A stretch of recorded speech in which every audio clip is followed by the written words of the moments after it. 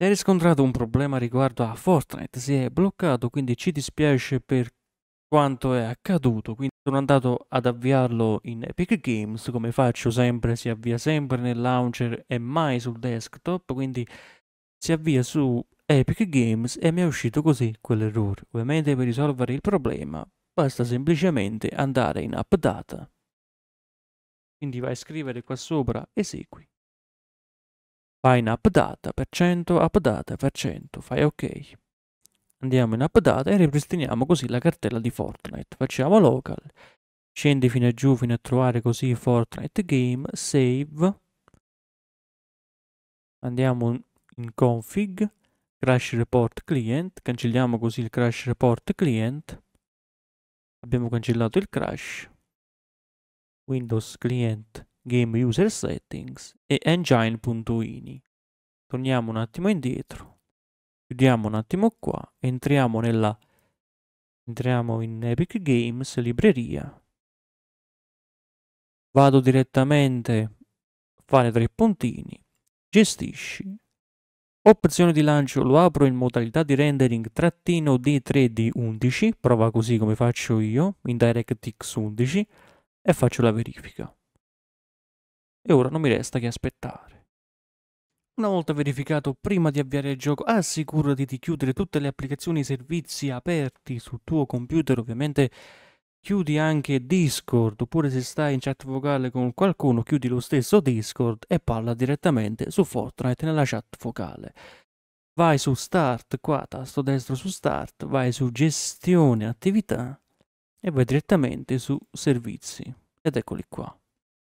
Ovviamente questi sono tutti servizi che aiutano il sistema a funzionare bene. E poi abbiamo i dettagli, tutte le applicazioni, tutte le applicazioni che non ci servono, ovviamente ho Google Chrome attivo, quindi lo chiudo. Ho tantissimi programmi.exe attivi. Epic Games Launcher Adobe Desktop non mi serve e termino così il processo. Tanti servizi che tieni qua dentro che non ti servono li puoi anche chiudere. Per esempio Xbox. Voglio capire perché è aperto l'Xbox qua dentro. E chiudo qua.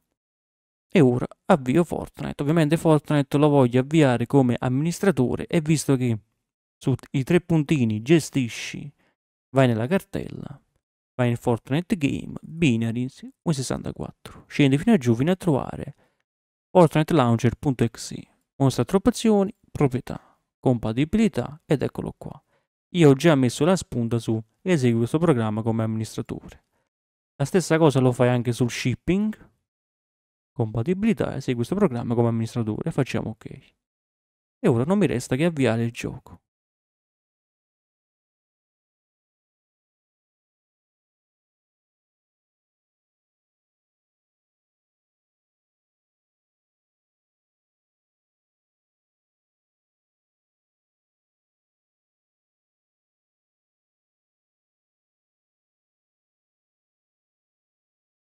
Gioco per ora sta dicendo connessione in corso. Si sta caricando, fortunatamente si sta caricando senza nessun problema.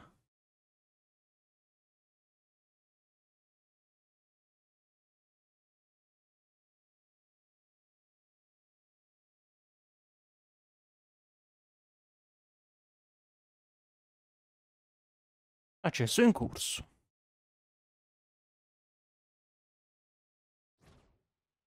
Ovviamente abbiamo anche ripristinato le, le impostazioni su Fortnite.